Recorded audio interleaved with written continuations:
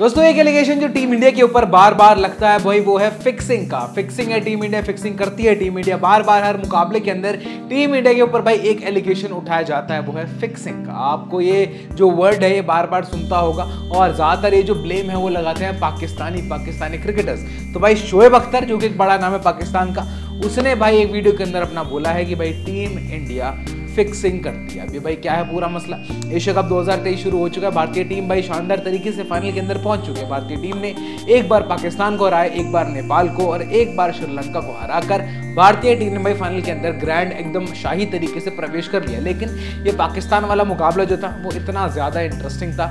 भारतीय टीम ने भाई पाकिस्तान को दो सौ अट्ठाइस रनों से हराया। उसके बाद जो अगला मुकाबला था, श्रीलंका वाला, भाई वो क्लोज गया था। मुकाबला यानी कि पहले बल्लेबाजी करते हुए भारतीय टीम एकदम लड़खड़ा गई थी और कहीं ना कहीं ये वही भारतीय टीम जिसने श्रीलंका या पाकिस्तान वाले मुकाबले के अगेंस्ट तीन सौ छप्पन रन का बड़ा टोटल बोर्ड के ऊपर लगाया था। विराट कोहली ने भाई सेंचुरी जड़ी थी। उसके बाद के राहुल ने सेंचुरी जड़ी थी। रोहित शर्मा ने पचास मारा था।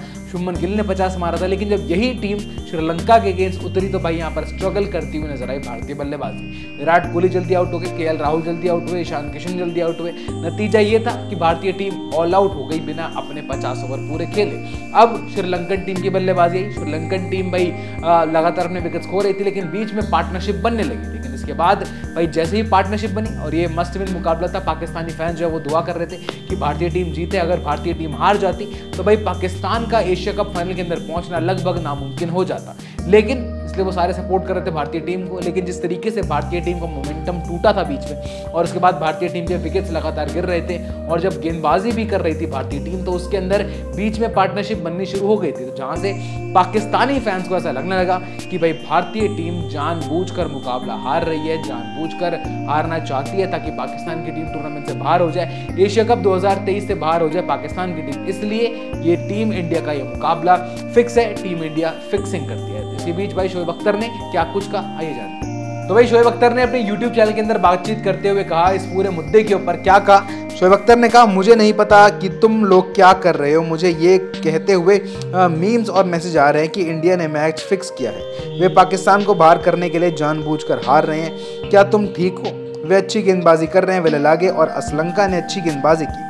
आपने देखा वो 20 साल का बच्चा उसने रन भी बनाए। मुझे इंडिया और बाकी देशों को फो फ़ोन कॉल आ रहे हैं कि वो जान पूछ हार रहे थे तो भाई ऐसा कहना है शोएब अख्तर का, यानी कि ये जो मीम्स हैं, ये कहीं ना कहीं उनके पास लगातार पहुँच रहे थे और शोएब अख्तर उनको समझा रहे थे कि भाई ऐसा कुछ नहीं है टीम इंडिया जानकर नहीं रही वो वेलेला की और असलम का जो गेंदबाज है, वो शानदार तरीके से गेंदबाजी कर रहे हैं और वेलेलागा ने रन भी बनाए और रन भी बनाए साथ साथ विकेट्स भी चटकाई। तो भाई ये कहना था शोएब अख्तर का। ऑल एंड ऑल जब इस वीडियो की शुरुआत हुई थी तो उन्होंने सीधा यही बोला था कि ये टीम इंडिया मुकाबला फिक्स करती है। लेकिन ऐसा कुछ भी नहीं है। भाई ये जो मुकाबला था टीम इंडिया जीती और थोड़ा सा क्लोज हो जाता है मुकाबले, लेकिन फिक्सिंग का थोड़ा सा आरोप लगाना थोड़ा सा ज़्यादा हो जाता है। किसी भी देश के ऊपर इतनी जल्दी उनको जज करना, ये काफ़ी ज़्यादा जल्दबाजी हो जाती है। और पाकिस्तानी फ़ैन जो कि वैसे ही इमोशनली हाई होते हैं, हर मुकाबला जीतना चाहते हैं और ऊपर से जब टीम इंडिया का मुकाबला कोई हो तो उसके अंदर हार की दुआ करते हैं। और उस मुकाबले के अंदर जब जब ये दुआ करते हैं तो भाई वहाँ पर अपोजिट रिज़ल्ट आते हैं, जो ये चाहते हैं। आपको इंडिया वर्सेस इंग्लैंड मुकाबला याद होगा। उससे पहले उसके अंदर भी पाकिस्तानी फैंस टीम इंडिया को जिताने के लिए दुआ कर रहे थे, लेकिन टीम इंडिया वो मुकाबला हार गई तो एक बार फिर से यही सब चीज़ें होने वाली तय थी, लेकिन टीम इंडिया मुकाबला जीती। एशिया कप 2023 के फाइनल के अंदर ग्रैंड तरीके से एंट्री फ़िलहाल